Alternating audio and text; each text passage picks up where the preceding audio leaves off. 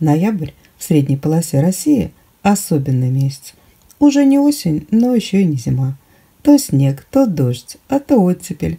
Кажется, что все уже сделано. Растения обрезали, мусор собрали, теплолюбивые укрыли. Что еще? А вот есть еще дела, о которых мы просто забываем. Многие считают, что садовые деревья нужно белить весной.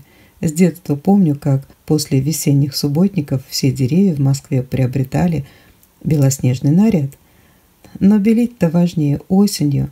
Если пренебрегать этим несложным мероприятием, то можно получить очень серьезные проблемы. Мы узнаем о таких понятиях, как морозобоины и солнечные ожоги тогда, когда уже бывает слишком поздно. В конце зимы, когда начинаются большие колебания между дневной и ночной температурой, темная кора сильно нагревается днем на солнце, а ночью от сильного холода не выдерживает и лопается, и продолжается это многократно, каждый день. Вода от подтаявшего на солнце снега попадает в эту щель днем, а ночью превращается в лед, отслаивает кору миллиметр за миллиметром. А когда начинается уже настоящая весна, мы с ужасом замечаем, что кора-то у дерева отошла. Если проигнорировать и этим сигналом, то очень скоро получим погибшее дерево. Но лучше вовремя побелить и спать спокойно. Но есть в саду и другие незавершенные дела. Вот увидели лишайник, нужно его очистить. Это несложно, только щетка должна быть не слишком жесткой, чтобы не сделать раны на коре. Чистим не только лишайники, но и все, что отслаивается, расстелив под деревом клеенку, чтобы потом собрать и сжечь весь мусор. И вот только после этого белим. А вот смотрите, какое богатство осенние листья. Их можно собрать и утеплить ими посадки, особенно молодые растения. Листья имеют осенью жесткую структуру и сохраняются плотными. Прошел дождь или снег, они намокли, а ветерок и легкий мороз просушили их, и они снова как новенькие, и только к весне слеживаются под снегом и теряют свое свойство утеплять. Но листья используем, конечно, только здоровые. Весной мы их уберем в компост, прольем и землю, и компост фитоспорином, и никакие вспышки болезней, которых некоторые боятся, нам не страшны. Листьями хорошо утеплять растения, которые остаются зимовать в кашпо. Делаем ограждение из пленки или лутросила и закидываем этот объем листьями. К этому времени, как правило, все растения уже обрезаны, остались только розы и хризантемы – Розы мы укрываем самыми последними, чтобы возвратные оттепели не погубили их под укрытием. Вот видите, они и даже после морозов еще цветут. И хризантемам первые заморозки не вредят. Они способны цвести до серьезных морозов. Обрезанные хризантемы укладываем прямо на место, где они растут. Другого утепления морозостойким сортам и не требуется. После того, как первый снег выпал – повнимательнее присмотримся к новым посадкам ягодных кустарников, ведь иногда снег выпадает так рано, что они не успевают еще сбросить листья, а это может привести к большим неприятностям. Смотрите, как ветки прижало к земле. Когда снега будет много, он просто сломает молодые веточки. Приходится проводить спасательные работы. Обязательно оборвите все листья. Можно делать это самим а можно привлечь своих маленьких помощников. Обрезку кустарников и тем более деревьев в это время не проводим. Растения спят и не способны вырабатывать клетки для рубцевания ран.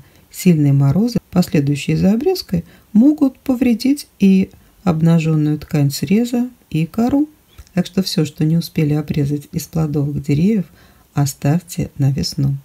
Если все дела в саду уже сделаны, то отправляемся, да нет, не домой, а в теплицу.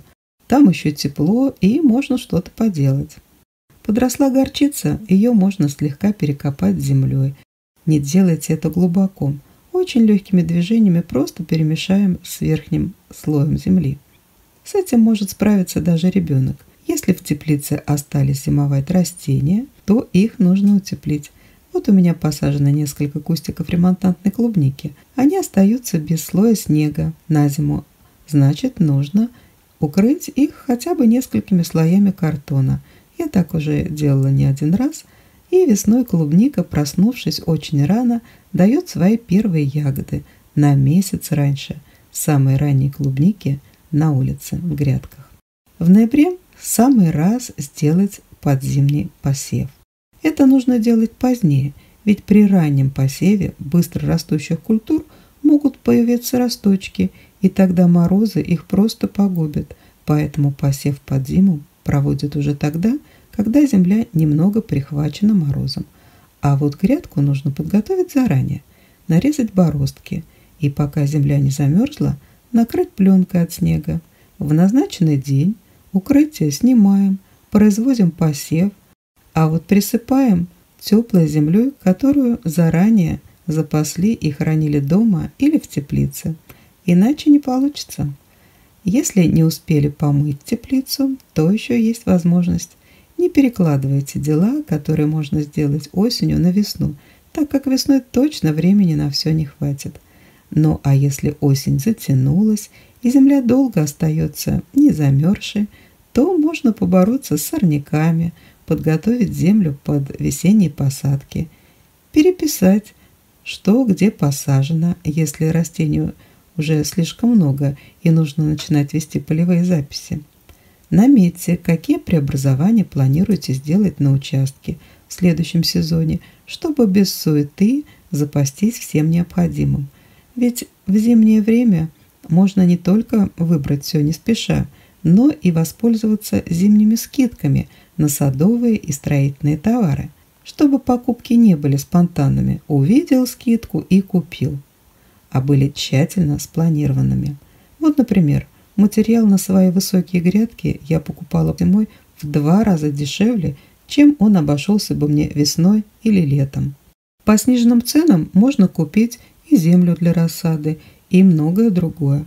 С ноября начинают принимать заказы на растения коллекционеры – все самое интересное можно найти у них, если оказаться в первых рядах. И интернет-магазины начинают прием предварительных заказов на весну со скидками. Вот так, казалось бы, сезон закрыт, но это нам только кажется. У увлеченных садоводов, цветоводов и огородников отпуска не бывает. Удачного вам завершения сезона – всего доброго. С вами был канал Вероника Поливкина. До новых встреч!